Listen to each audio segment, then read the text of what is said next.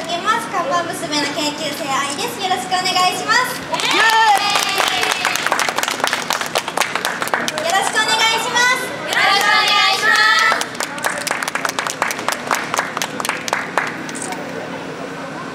はいということで今日は5月26日春のキーボーイチの最終回ですね。もうはい。さ、5月も終わっちゃうんだけどさ、暑すぎません？暑すぎる。だって普通に30度とか超えてる日今日今日30度だよねえやばいよねちょっとみんな皆様も熱中症とかちょっと気をつけてくださいねあのステージ見ながらみんなもねそう、はい、気をつけていきたいんですけども夏に近づいてきてる感じなんですけどもあの春の話をね5月なんでぜひしたいなって思ってね。そうでもねでもねあの春っていうあの楽しい感じなんだけど最近学生はテスト週間でちょっとずっちゃんにあの結果の方ちょっと聞いてみたいと思うんだけどインタビューずっちゃんテストどうでした？出来は？まあまあって感じ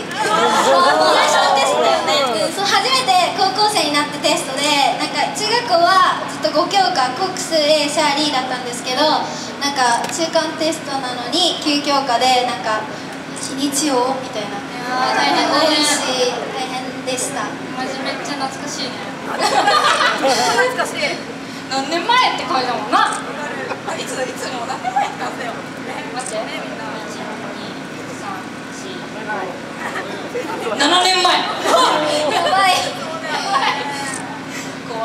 待って待って私のがもっと前。え待って待って待って待って。何？みんなもっと前。あ失礼いたしました。はいあのゴールデンウィークとかさあの5月ありましたけどあのみんなどっか行ったとかありますか？う。ん。ディズニーランド。ディズニーランド？めっちゃいいじゃんけ楽しかったっけ今35周年やってるんだよねいいなーどどっちに行ったのちなみに。どっちも。あいいですね。ちょっと楽しい。何何が楽しかったですか？え乗り物とかさ、いっぱいあるもんね。しかもキャラクターがさ何よりさ「てんてれんてん」で来るとさめっちゃ好きミッキーみたいなこっちを見てみたいなあるよねやばないあるよねあちゃんもやばそうあなちゃん言ってなかったまあちなみに私は乗り物の方が好きなんで乗りまくってたけどねああなるほどね。あの私乗り物結構怖くてあの乗れない方なんだ。あ本当？泣いてそうだもん。好きよね。テンション乗ったらめっちゃ楽しそうじゃないなんかちゃんと絶叫してくれそう。そう。手離せ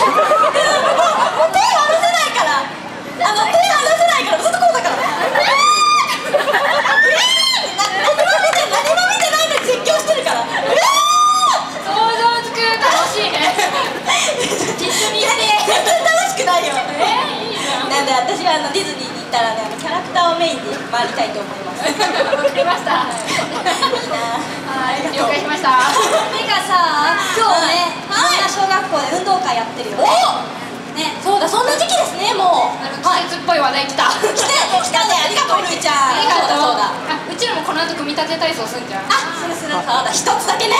ね三 人。だけ三人。だけあのの1回だけありますのであのお見逃しなく。そううちらもあ暑さんに負けないように頑張っていきよ